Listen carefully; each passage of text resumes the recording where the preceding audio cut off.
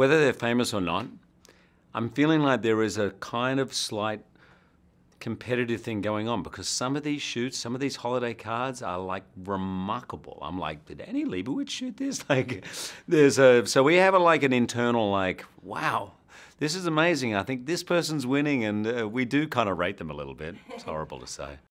Tom's quite good at it. Tom always, usually it's birthdays, I'll get Cruise.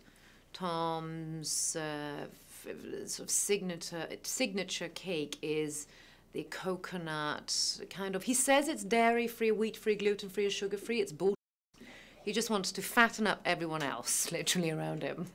Um, but he's very good at it. But yeah, I think quite a lot of us just send send greetings to each other. But also, I'm not much of a person who keeps contact.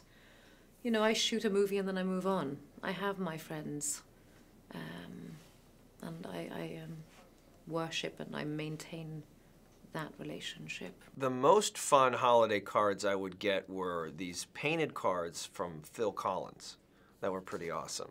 Although now that I think about it, I haven't gotten one in a few years. Phil, come on. Um, yeah, he would. He's because he paints as well. So they were always they were like of dogs and things. It was really kind of awesome, and that was kind of funny. We were like, oh, it's Phil Collins Christmas card. it's pretty great. There's two or three who religiously will send me uh, a lovely card. In fact, I will name drop Steven Spielberg. God love him.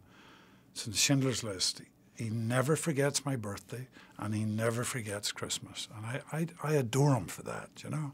And there's years I forget to send cards and stuff like that, but that's it's lovely. Steven is so um, he's just very very loyal. I really appreciate that. Yeah. Uh, there are a lot of kind of. Uh, kind of you know colleagues kind of you know but but but but no but no no kind of juicy fun you know, you would think that, you know, Clooney would send out something funny, but um, he's so serious now, you know, he's married, he's got kids, he's really settled down. So